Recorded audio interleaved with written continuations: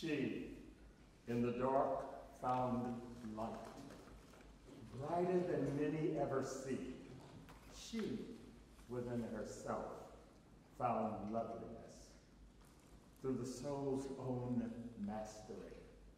And now the world receives from her dower the message of strength, of inner power.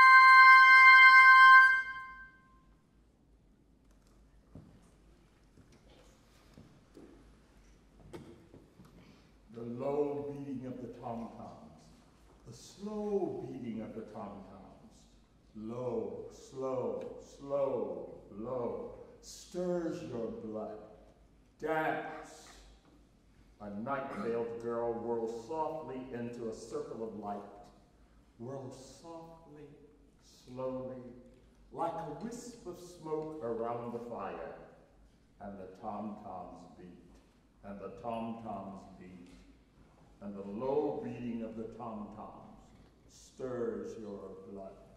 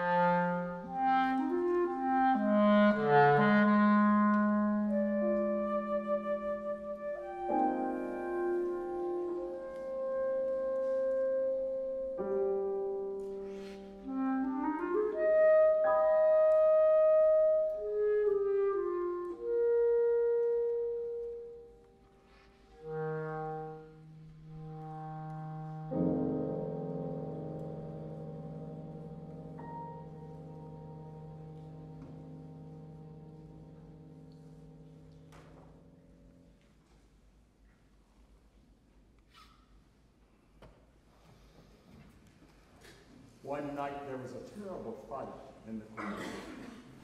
It began when a little French danseuse named Annette was going to have a child.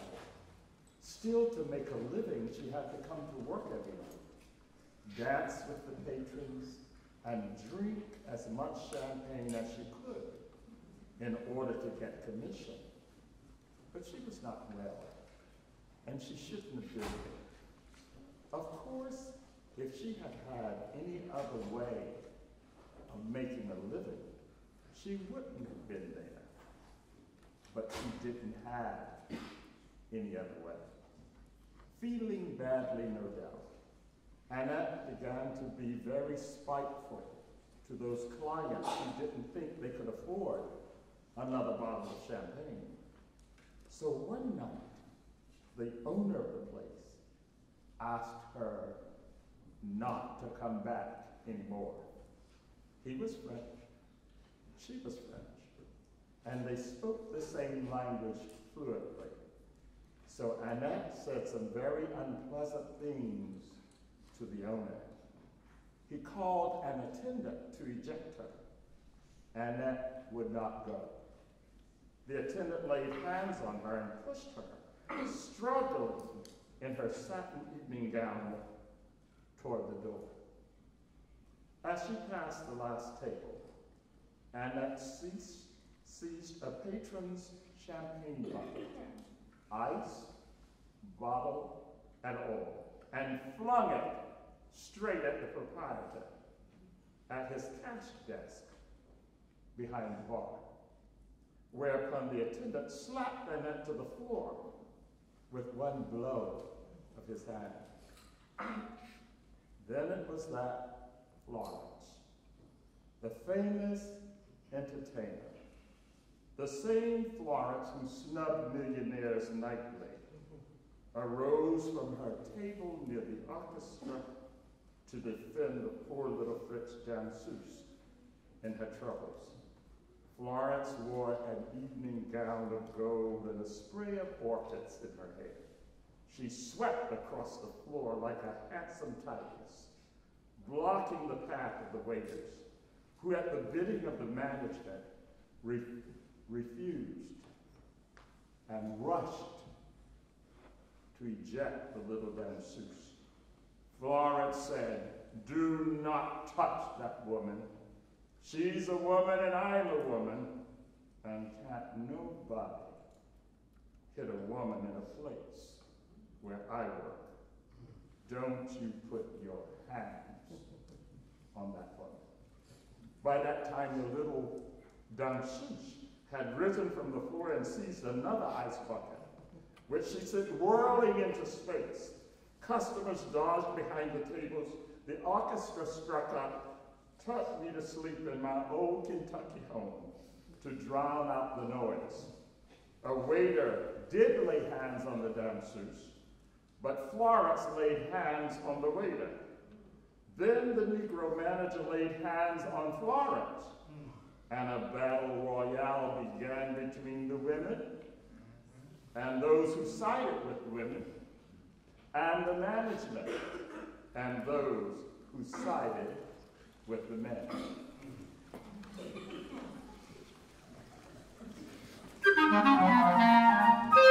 In